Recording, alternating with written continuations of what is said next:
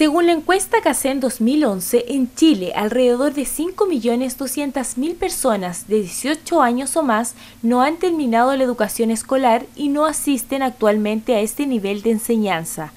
Esto puede significar que nunca asistieron a la escuela o que tienen educación básica o media. En este contexto, hoy la Ceremi de Educación lanzó en el Maule la campaña de normalización de estudios para adultos, que ofrece diversas opciones para que todas las personas puedan completar su escolaridad. Estamos promocionando el que los, eh, las personas mayores de 18 años que no hayan terminado su enseñanza básica o media ingresen al eh, programa que tenemos de normalización de estudios del Ministerio de Educación.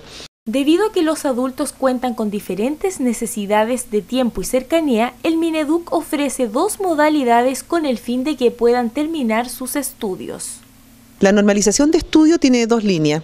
Una que es la educación regular de adultos, si eres mayor de 18 años y tienes la posibilidad de estudiar de lunes a viernes, de eh, abril a diciembre, con una eh, menor cantidad de horas, que es lo, regular, digamos, hay que inscribirse.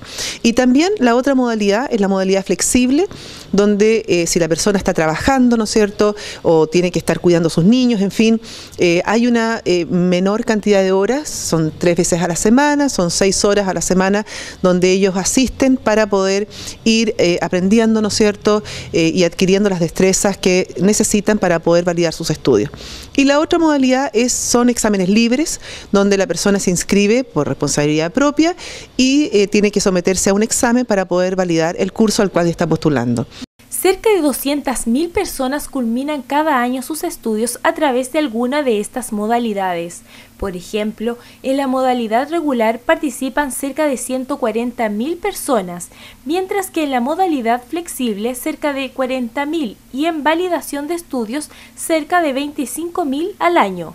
Bueno, el domingo 3 de noviembre salió publicado en todos los diarios del país la licitación 2014 de la modalidad flexible, que es un programa que se está cubriendo a nivel regional con tres entidades ejecutoras este año 2013 y con 21 entidades evaluadoras también que hacen la examinación de los alumnos. Ya, a su vez te puedo contar que eh, en estos momentos eh, ya hay 13 entidades, eh, ya les llegaron las bases, por lo cual eh, van a participar de este proceso 2014, por lo cual hago una invitación directamente a todas las municipalidades de la región del Maule a participar en www.normalización.minedu.cl, donde pueden encontrar toda la información requerida con respecto a lo que es la licitación 2014. En todas las regiones del país existen establecimientos educacionales que ofrecen educación para personas jóvenes y adultas. Tanto la modalidad regular como la flexible otorgan derecho a recibir textos de estudio.